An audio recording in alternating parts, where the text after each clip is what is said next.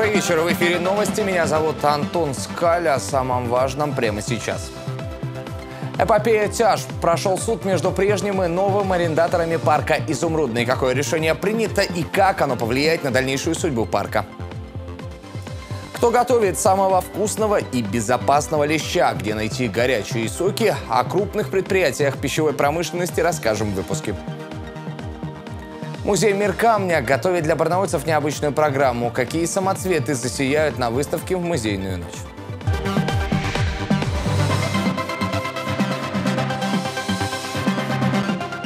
Президент Азербайджана Ильхам Алиев посетил стенд Алтайского края на международной выставке в Баку. Сейчас там с официальным визитом находится делегация нашего региона во главе с заместителем председателя правительства Алтайского края Виктором Мещеряковым. Во время осмотра стендов президента особо заинтересовала продукция алтайского биофармацевтического кластера «Алтай-Био».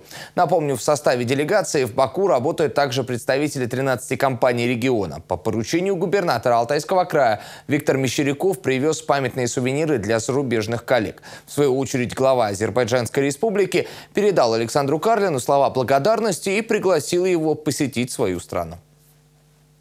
Один из самых востребованных торговых центров в Барнауле может попасть под волну массовых закрытий. Арендаторы торгового центра «Европа» начали получать тревожные письма оповещения об этом. Информацией с нами поделился один из арендаторов, пожелавший остаться неизвестным. Двери Европы, предположительно, опечатают через две недели. Причины закрытия все те же – нарушение правил пожарной безопасности. В прокуратуре индустриального района заявили, что в ТРЦ э, действительно есть нарушение правил пожарной безопасности. Здесь недостаточно эвакуационных выходов, пути эвакуации в некоторых помещениях заужены, а система вытяжной противодымной вентиляции отсутствовала. Сейчас эти нарушения устраняют. Продолжаем выпуск. Суд обязал бывшего арендатора Павла Тулина освободить парк «Изумрудный». В течение месяца он должен демонтировать и вывести с территории все свое имущество, а это в том числе аттракционы и бассейн. Правда, в этот срок Тулин может подать апелляцию. Напомню, ранее экс-арендатор Павел Тулин и нынешний Владимир Фишер подали друг на друга встречные иски. Фишер требовал сноса старых аттракционов и недавно возведенного бассейна, аргументируя это тем, что они мешают дальнейшему благоустройству парка «Изумрудный». Тулин, в свою очередь, требовал признать недействительным договор о перенайме земельного участка. В итоге суд встал на сторону нового арендатора Владимира Фишера. В беседе с нашим корреспондентом тот признался, что рад такому исходу дела, но не уверен, что его предшественник должник выполнить свои обязательства? Я полагаю, тоже э, освободит ли он, ведь потому что подавали мы в суд жалобу, чтобы он освободил, а он через неделю подал свое заявление о незаконности. Его просьбу не удовлетворили в нашу пользу, а наше требование, чтобы он освободил парк, осталось, пока вот этот вопрос будет открытым. Что появится на месте демонтированных аттракционов и бассейна, Фишер пока не комментирует. Но напомним, что по требованию администрации района в парке как можно скорее должен появиться план с указанием планируемой реконструкции. Эта информация будет доступна горожанам. Продолжаем выпуск. Старый мост в Барнауле могут передать на баланс Росавтодора и через суд его обязать ремонтировать. А, ремонт может обойтись федералам в 1 миллиард рублей. Нам структуры, которые управляют федеральным имуществом, говорят, что у них нет средств на содержание этого моста. Э, и ситуация, э, ну я бы ее не назвал патовой, но ситуация проблемная, э, я согласен. Тем более, что по информации наших структур, которые занимаются автомобильным транспортом, за сутки проходит по старому так называемому мосту, или мы его называем коммунальным, около 18 тысяч единиц автотранспорта. Это очень большой поток. По словам губернатора, власти не допустят закрытия Старого моста, пока не решен вопрос с собственником. В ближайшее время в администрации края пройдет рабочее совещание, посвященное этой проблеме. Александр Карлин также надеется на положительное решение вопроса с ремонтом моста со стороны Минэкономики и Росимущества.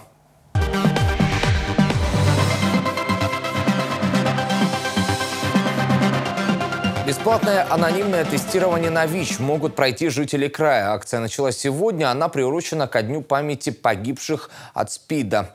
Сегодня любой желающий мог прийти в краевой диагностический центр и узнать свой ВИЧ-статус. Как много ВИЧ-инфицированных в Алтайском крае и как не попасть в их число, расскажет Тата Геворгян. 21 тысяча. Столько ВИЧ-инфицированных сейчас проживает в Алтайском крае. Их число увеличилось на 20% по сравнению с 2016 годом, и растет оно, как говорят врачи, лишь потому, что многие даже не подозревают о заражении. Как раз сегодня проверить это мог любой желающий, абсолютно анонимно в Краевом диагностическом центре. Для того, чтобы пройти анонимный тест на ВИЧ, необходимо просто прийти в кабинет и сдать анализы. Никакие документы при этом не нужны. Нам дадут вот такой номерок. По результатам анализа через 10-15 минут будет ясно, положительный тест или отрицательный.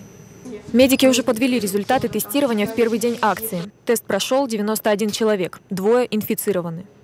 А, в прошлом году около 2000 человек э, прошли э, тестирование на ВИЧ, и порядка 34 тестов оказались положительными. В случае положительного экспресс-теста э, предлагается прийти на стандартное обследование в центр СПИД. Специалисты утверждают, что от ВИЧ никто не застрахован. Но для того, чтобы обезопасить себя, нужно знать, как вирус иммунодефицита передается. Существует три основных способа передачи вируса – половой, через кровь и от матери к новорожденному. Помните, ВИЧ не передается при бытовых контактах через слюну, слезы и воздушно-капельным путем, а также через воду или пищу. Поучаствовать в акции по экспресс-тестированию на ВИЧ может любой желающий. В Барнауле 17 мая с 13 до 15.00 по адресу Молодежная, 55 и 18 мая с 10 до 15.00 по адресу Калинина, 10. Позже к акции присоединится Рубцовск. Пройти тест можно будет 20 мая на уличной площадке культурно-развлекательного центра «Россия». Татовик Геворгян, Денис Кузьменко. Новости. Они защищают нашу страну. Традиционный митинг, посвященный призывникам из Алтайского края, прошел сегодня в Барнауле. Всего в торжественном построении приняли участие 250 призывников. Уже сегодня большинство из них отправятся нести воинскую службу. 15 из них будут служить в президентском полку. В отличие от других призывников, их подготовка началась еще в феврале. Они проходили медицинский осмотр, беседы с психологами для проверки морально-деловых качеств. По итогам а, только 15 молодых людей из Алтайского края попали в президентский полк. Добавлю, для остальных весенний призыв начался 1 апреля. Сейчас мы начинаем отправки молодого пополнения войска. Идет он у нас в, штат, в штатном режиме, все по плану. На сегодня мы отправили около 200 человек уже в войска. И будет продолжаться до 15 июля. В целом мы за весенний, весеннюю призывную кампанию 2018 года отправим более 2000 человек.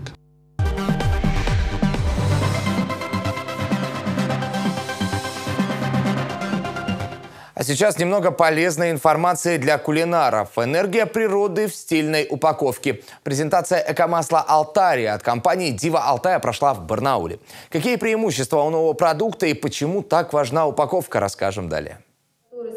Компания «Дива Алтая» выпустила инновационный продукт. Эко-масло в виде спрея «Алтария» не имеет аналогов в стране. Особое внимание производитель уделил упаковке. Это четырехслойный вакуумированный пакет в стальном баллоне. Позволяет сохранить свойства продукта на протяжении всего срока годности. Обычное растительное масло в ПЭТ-бутылке начинает терять свои полезные свойства в среднем через двое суток. Данный продукт не нужно хранить в холодильнике. Он является атрибутом на нашей кухне, то есть может стоять где угодно и выдерживает условия хранения до плюс 50. То есть при данной температуре, температуре продукт сохраняет свои полезные свойства. Специальный дозатор дает возможность контролировать распыление масла. Тонкие слои позволяют экономично расходовать продукт, а также избегать излишков жира на домашней еде. Мы имеем гордость сегодня сказать, что мы номер один не только в стране, но мы выходим а, и на мировой рынок, на рынок мировых компаний со своим продуктом. Я считаю, что за 25 лет а, существования компании это серьезный шаг, который необходимо было сделать для того, чтобы укрепить свои позиции. Это исторический момент. Эко-масло ценят и специалисты, профессиональные повара. Они уже успели испытать новинку и уверены, масло в нестандартной упаковке в скором времени может стать атрибутом многих кухонь не только России, но и в других странах. К тому же планируется расширение линейки продуктов. В скором времени появится льняное и оливковое масло. Вадим Слюсарев, Анатолий Фукс. Новости. Что ж, действительно, Алтайский край славится полезной натуральной продукцией. Только в Каменском районе работают три крупнейших предприятия. Их продукция пользуется спросом и в соседних регионах. Чем знамениты старейшие производители и как сегодня развивается пищевая промышленность края? Ответы на эти вопросы, ответы на эти вопросы искали мои коллеги. Где готовят самого вкусного и безопасного леща, знает каждый житель края. Каменский рыбозавод работает 85 лет. Несмотря на возраст предприятия, технологии здесь на месте не стоят. Четыре года назад специалисты рыбозавода освоили метод горячего копчения. С тех пор копченый лещ стал популярен во всем крае. Кроме того, как утверждают специалисты, он безопасен, то есть не токсичен для здоровья. С засолом и копчением не торопятся. Коптят только на древесных опилках, а за температурным режимом следят постоянно. Предприятие наше э, чем отличается от других рыбоперерабатывающих предприятий, выгодно причем, тем, что э, мы сами добываем рыбу в пойме реки Оби и близ ближайших озерах. Еще одно предприятие идет в ногу со временем – Каменский мясокомбинат. Ему 89 лет. С 2012 года здесь производят детское питание – колбасу и сосиски. Продукция для детей востребована не только в Алтайском крае, но и в Новосибирской области. Цена выше на 20-30 рублей. Это связано с особенностями состава. Для изготовления используют только отборное мясо. Фарш красителей не добавляют, поэтому колбаса цвета вареного мяса – серая. Не идет мясо быков, не идет мясо от тощих животных, не идет э, мясо несколько раз замороженное. Витамины, которые сюда добавляются, йод, кальций, э, аскорбинка, те витамины, которые положено сюда добавлять, у нас э, лаборатория есть, они все взвешивают на каждую порцию. Камень на Оби и напитками славится. Свою работу местная компания-производитель начала лишь в январе этого года. Предприятие первое в Западной Сибири, которое занимается горячим разливом соков. В специальную ПЭТ-тару разливается сок, температура которого 75-80 градусов. Она уничтожает все бактерии и микроорганизмы, которые вызывают брожение. За счет этого срок хранения продукта увеличивается до 9 месяцев. Каменские напитки нашли свое место и на новосибирском рынке. Уже в этом году предприятие начнет производство газированных напитков и на этом не остановится. Соки, э, алтайские морсы и, возможно, в ближайшее время запустим еще компоты. Вот. А, значит, это все э, разливается в три вида, полторашка литра и пол-литра, и вывоз, развозится в независимые, э, не сетевые магазины. Алтайские компании внедряют новые технологии в производство, тем самым улучшая качество продукции и укрепляя позиции на российском рынке. Среди ведущих производителей пищевых продуктов Сибирского федерального округа Алтайский край имеет самые высокие темпы выпуска пищевых продуктов и напитков. Татевик Геворгян, Сергей Балуев. Новости. Ночь музеев пройдет в Алтайском крае с 19 на 20 мая. Только в Барнауле можно будет посетить более 30 площадок и на каждой увидеть уникальные экспозиции, а также принять участие в тематических мастер-классах.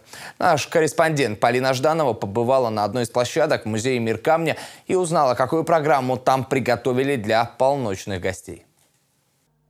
На стендах под стеклом блестит горный хрусталь и малахит. Где-то в конце зала прячутся осколки Челябинского метеорита и вулканическая бомба. А на пороге гости встречают новые хозяева музея камней – юные геологи. В грядущую музейную ночь они проведут полноценные экскурсии, а поделиться есть чем. Например, девятилетний Григорий – опытный коллекционер. За своими камнями ездил в Армению, на Кольский полуостров и Урал. Я начал собирать камни уже как два года собираю. И у меня довольно большая коллекция. Юные экскурсоводы заготовили большую программу. Дети участвовали и в пополнении музейного фонда. Путешествовали кто куда. Много ездили по алтайским месторождениям камней. По словам педагогов, ученики клуба геологов знают наизусть всю таблицу Менделеева и могут объяснить, чем турмалин отличается от родонита и из каких камней добывают красители и другие необходимые вещества. Мы с папой этой осенью ездили на Кимовское месторождение – там мы нашли много интересных камней. С одной стороны, их очень много, и они повсюду, а с другой стороны, они такие красивые.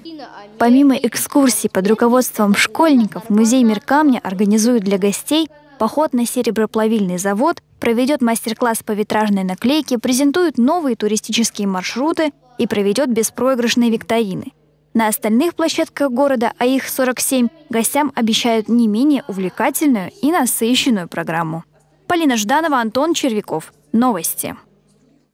Ну и сейчас о спорте. Идеальная форма, высокие оценки судей и никакого допинга. Известный и титулованный алтайский бодибилдер Александр Барбашин завоевал очередной трофей, став на этот раз чемпионом Европы. Дмитрий Гладких знает все подробности. Для Александра Барбашина чемпионат Европы стал очередным спортивным испытанием, с которым алтайский спортсмен вместе со своим тренером Денисом Капустиным справились на отлично. На этот раз он выступал в новой категории Games Classic Bodybuilding. Турнир проходил в испанском городе Санта-Сусанна. Подготовка к этому крупному европейскому старту, участие в нем барнаулец принимал впервые, началась сразу после Нового года. Три раза в неделю, почти два часа Александр занимался в тренажерном зале под руководством своего наставника, который верил в успех своего подопечного. Чтобы подойти к ответственным стартам в идеальной форме, пришлось работать по специальной программе и отказаться от аэробных упражнений. Если говорить о э, бодибилдинге как, как о виде физической культуры, она необходима. Обязательно для того, чтобы поддерживать сердечно-сосудистую систему, для того, чтобы поддерживать весь организм э, в нормальной форме. Но если мы говорим о максимальном результате, то она может помешать. И поэтому мы старались больше делать каких-то таких восстановительных процедур. Массаж, баня и так далее. Одним из главных требований для выступления в новой категории было обязательное прохождение допинг-тестов. Именно с Games Classic Bodybuilding президент Международной Федерации Рафаэль Сантоха планирует попасть в программу Олимпийских игр. Кроме того, обязательным являлось правильное соотношение роста и веса по сравнению с традиционным классическим бодибилдингом. В итоге заявку на участие в ней подали всего шесть спортсменов. Благодаря опыту и хорошей подготовке Александр стал чемпионом Европы, уверенно обойдя по очкам завоевавшего серебро эстонца Сиима Савиасаару и занявшего третье место румынца Драгоса Януту. Выступать хочется, выступать хочется еще, ну и тем более, так скажем, позорить честь, честь страны, как бы это ну, для меня было важно. Э, важно выиграть, важно выставить хорошую форму и важно, чтобы все было вот по-честному, чтобы все было как надо, как заявлено. Ну вот, все, что было важно, все получилось. В мечтах у Александра, как и у любого профессионального спортсмена, возможность выступить на Олимпийских играх. Получится это сделать или нет, и войдет ли бодибилдинг в большую олимпийскую семью, покажет время. Ну а пока в планах нового чемпиона Европы отдых и продолжение работы со своими подопечными. А уже в сентябре поездка в качестве тренера на крупный международный турнир. Дмитрий Гладких, Денис Кузьменко. Новости. На этом у меня пока все. Еще больше новостей вы можете найти вот здесь. А, я желаю вам хорошего вечера. Оставайтесь с нами.